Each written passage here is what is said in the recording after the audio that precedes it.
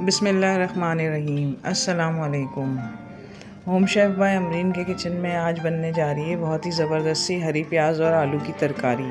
हरी प्याज आजकल सीज़न में है और ये पसंद भी की जाती है तो हमने सोचा क्यों ना आज इसकी तरकारी ट्राई की जाए। और साथ ही इसमें मटर भी इस्तेमाल किए हैं। आलू प्याज, हरी प्याज और मटर के साथ ये तरकारी बनी है। आप भी इसको ट्राई कीजिएगा इन आपको बहुत पसंद आएगी। रेसिपी की जानब चलते हैं। सबसे पहले मैंने एक फ्राई पैन ले लिया, खुले मुँह का बर्तन, और इसके अंदर तकरीबन वन फोर्थ की कप के करीब मैंने ऑयल इस्तेमाल किया। है आलू है, इसलिए ऑयल थोड़ा ज़्यादा इस्तेमाल होगा।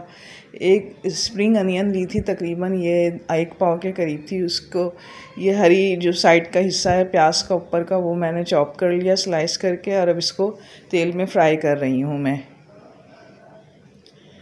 ग्रीन पार्ट को अलग चॉप करके रख लिया और ये है हरी मिर्चें और शिमला मिर्च का इस्तेमाल है। एक छोटी शिमला मिर्च ली है और हरी मिर्चें आप अपने टेस्ट के हिसाब से ले लें। इसके अंदर क्योंकि लाल मिर्च का इस्तेमाल नहीं होगा, इसलिए हरी मिर्चों का इस्तेमाल थोड़ा ज़्यादा होगा। इन दोनों को इसी प्याज के अंदर डाल के साथ ही फ्राई कर लिया मैंने थोड़ा सा। अब ये हरी प्याज जो चॉप करके रख ये मटर हैं मटर भी अब इसी में फ्राई कर लूँगी। मटर सीज़न में नहीं है लेकिन मैं, मैंने इसको फ्रीज़ करके रखे हुए थे। इसलिए अब इसको इसी के साथ ही फ्राई कर लेंगे ताकि मटर की जो भी स्मेल होती है वो ख़त्म हो जाए।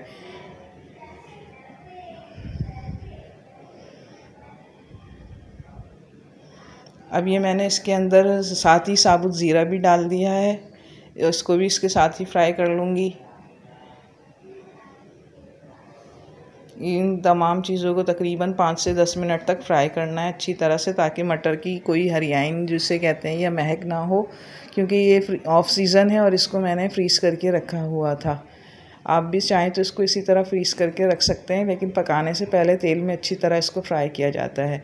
अब ये हरी प्याज का हरा वाला हिस्सा है, इसको चॉप कर लिया था, और अब ये इसके साथ ही ये डाल दूँगी और इसको भी थोड़ी देर इसके साथ फ्राई कर लेंगे।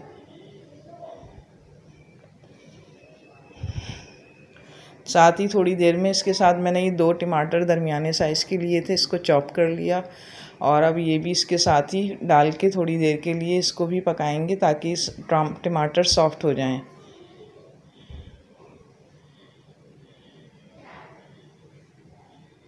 थोड़ी देर इसको ढाँक देंगे ताकि जो टमाटर हैं वो अच्छी तरह से इसके अंदर मेल्ट हो जाएँ। दस मिनट हो गए थे, अब मैंने इसको खोल लिया और अब मैं अच्छी तरह से इसको भून लूँगी और टमाटरों को डोई की मदद से अच्छी तरह से मैश कर लूँगी। क्योंकि साबुत टमाटर सब्ज़ियों के अंदर या किसी भी चीज़ के अंदर अच्छे नहीं लगते हैं। तो ये इसको अच्छी तरह से मैश कर लिया है मैंने इसके अंदर।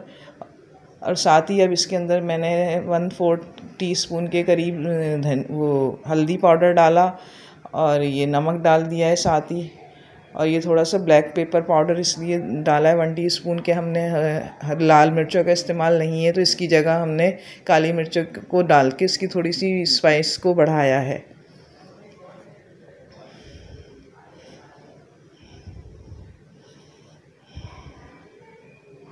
सब्ज़ियों में जितना लाइट मसाला होगा, उतनी ही अच्छी बनती है कि सब्ज़ियों का अपना फ्लेवर फिर निकल के आता है, इसलिए मसालों का इस्तेमाल थोड़ा कम किया है। अब ये इसको तकरीबन दस मिनट हो गए थे, अच्छी तरह से इसको मसालों को भून लूँगी। और ये इतना भूनना है कि इसका ऑयल सेपरेट हो जाएगा। और फिर इसके बाद इसके अंदर हमने आलू शामिल कर लेने हैं। ये तकरीबन पाँच मिनट तक अच्छी तरह से इसकी भुनाई करनी है।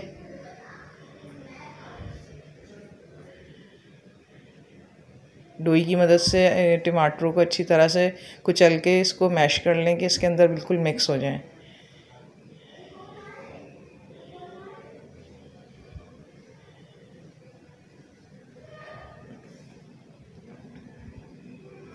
मसाले से तेल सेपरेट हो गया है, इसके देखें अच्छी तरह से भून गई है ये। और बाकी जो अगर थोड़े बहुत टमाटर साबुत हैं तो ये आगे पकेगी तो ये भी इसके साथ बिल्कुल हल हो जाएँगे इसके अंदर। अब ये मैंने इसके अंदर तकरीबन आधा किलो के करीब आलू लिए थे और इसके ना बहुत ज़्यादा पतले स्लाइस करने और ना ही मोटे स्लाइस करने हैं।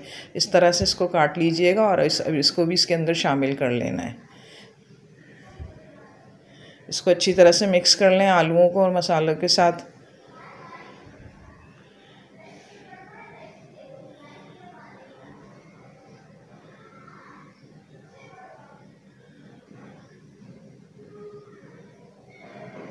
ये सब्ज़ी आप दाल चावलों के साथ खाएँ, चपाती के साथ खाएँ या साथ इसके अगर आप पूरियाँ भी फ्राई कर लें तो उसके साथ भी ये बहुत ही मज़ेदार लगती है।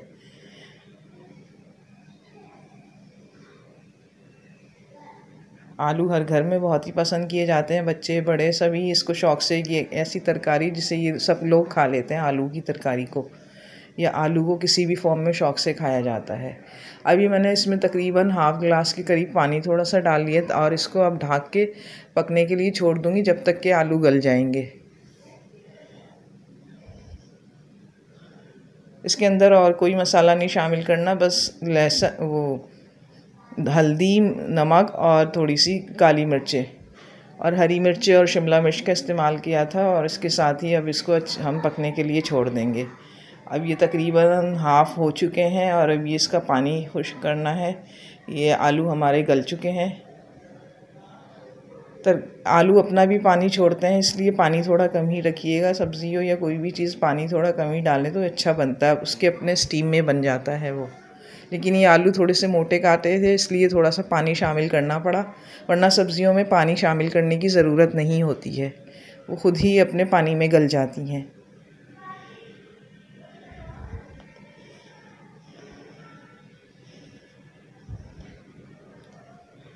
अब ये तकरीबन तैयारी की तरफ़ आ चुकी है। इसका सारा पानी खुश्क हो गया। अब हम इसको अच्छी तरह से भून लेंगे इतनी देर कि ये इसका ऑयल जो है या रोगन ऊपर आ जाएगा इसका।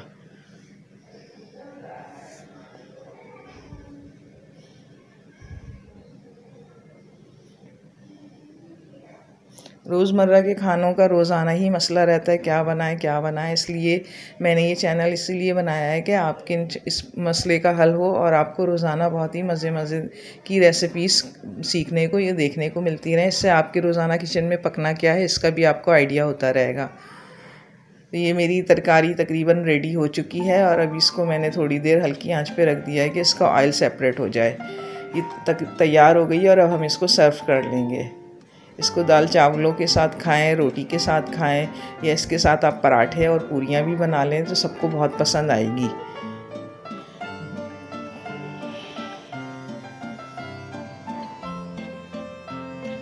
आगे भी इसी तरह की मज़ीद रेसिपीज़ को जानने के लिए मेरे चैनल को सब्सक्राइब कीजिएगा और अपने कमेंट्स से मुझे आगाह कीजिएगा, ताकि इसी तरह मुझे आगे भी मोटिवेशन मिलती रहे और मैं आपके लिए इसी तरह रोज़मर्रा के खाने बनाती रहूँ इन आगे मज़ीद अच्छी रेसिपीज़ के साथ हाज़िर होंगी। तब तक के लिए इजाज़त दीजिए। अल्लाह हाफिज़। फ़ी अमान अल्लाह।